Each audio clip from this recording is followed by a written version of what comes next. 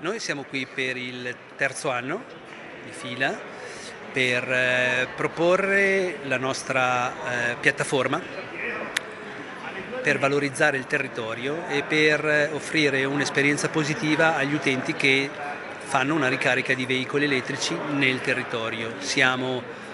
gli unici operatori di mobilità elettrica del Comune di Torino, abbiamo 20 postazioni da poco attivate e quindi ci sentiamo parte del territorio e vogliamo promuoverlo in maniera positiva e sostenibile. Siamo per l'abolizione delle tessere per i sistemi di ricarica, siamo l'unica società italiana che offre un sistema interoperabile con l'estero, quindi qualsiasi utente estero che abbia anche la sua applicazione può venire in Italia e caricarsi alle stazioni che sono da noi collegate. Con la nostra app colleghiamo più di 20.000 stazioni in Europa con un unico sistema, è possibile pagare, autenticarsi direttamente dallo smartphone e quindi dimenticarsi di tutte queste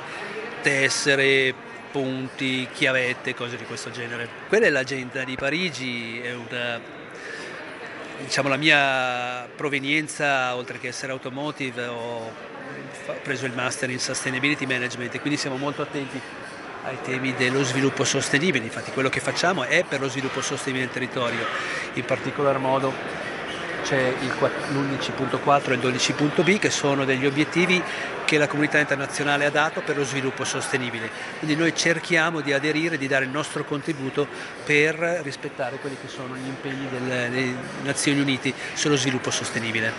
Anche se siamo di Milano giochiamo in casa, noi siamo di Milano ma in casa non giochiamo mai a Milano perché in Lombardia purtroppo esistono delle eh, regole, delle relazioni che non permettono, si dice sempre no, nemo profeta in patria, giochiamo in casa qui, giochiamo in casa anche nei territori delle Dolomiti e del Trentino Alto Adige, comunque con il Comune di Torino stiamo avendo una bellissima relazione,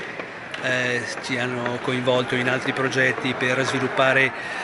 una piattaforma di open data e di servizi intorno alle colonnine. Quindi quello che stiamo cercando di fare si vedrà probabilmente fra sei mesi, magari ci rivediamo a un prossimo evento.